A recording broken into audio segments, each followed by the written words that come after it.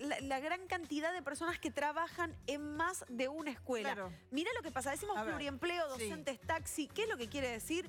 Eh, personas que cumplen sus cargos en más de una escuela. El 28% trabaja en dos escuelas. Ujú. 3% tienen tres o más escuelas. Y esto Mm. se incrementa y mucho, Silvia, cuando hablamos de colegios secundarios. Claro. Porque vos en general, eh, en primera tenés una maestra, un curso eh, durante Pero todo en el secundario son día. horas, algunas horas El en una problema escuela, es exactamente claro. la hora cátedra. Entonces Exacto. esto crece. Mirá. El 40, eh, perdón, 30% trabaja en dos escuelas, pero mira lo que pasa No, con la tres o más escuelas. Casi la 47%, Ujú. exactamente, tres o más. ¿Y qué representa? ¿Qué significa estar en tres o más escuelas? Eso.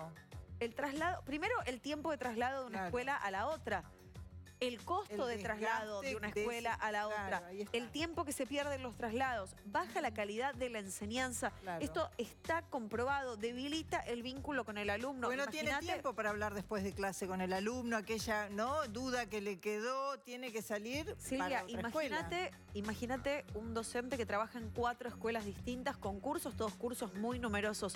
Es muy probable que no, re- que, que no llegue a conocer a todos los alumnos, Claro. que quizás no recuerde el nombre de todos los alumnos. Y esto además eh, no tiene contemplado, cuando vos tenés más cantidad de cursos, un viejo tema del que hablan siempre los docentes prácticamente desde que tengo memoria y tiene que ver con el tiempo de planificación de las clases Claro. y el tiempo de corrección. Dos cuestiones que ocurren afuera del aula eh, y que no aparecen reconocidas dentro del trabajo docente. Que ¿no? El tiempo, que tiempo- le lleva exactamente corregir a conciencia y, y para poder hacer una, una buena devolución esos exámenes, pero además la planificación y el armado de las clases. ¿no? En este momento, en este día de- del maestro, esta es la realidad docente, lo- los docentes que son protagonistas de muchos reclamos y muchas veces también los que reciben muchos reclamos de, de los papás y a veces de los alumnos que demandan por mayor calidad dentro del aula.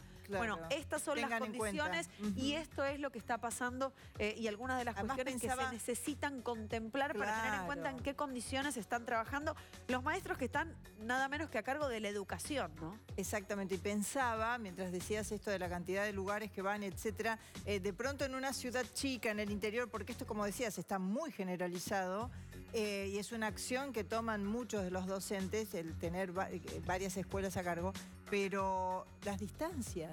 Sí. En un lugar como provincia de Buenos Aires o como la capital federal, el tiempo que lleva además y la distancia a recorrer, el gasto que tienen que tener extra. Exactamente, son algunas de las cuestiones que vienen planteando los, los docentes.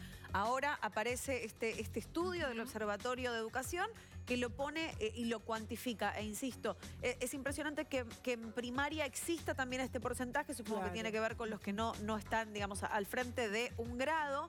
Eh, pero lo tenés en el secundario, te, te recuerdo los números, 30% de los docentes está en dos escuelas, el 47% está en más, ¿Tres por lo o menos más? en tres escuelas. Hay casos, Silvia, los que llegaban a registrar ocho. Opa, tremendo. Gracias, Marina. A vos, Silvia. Paula.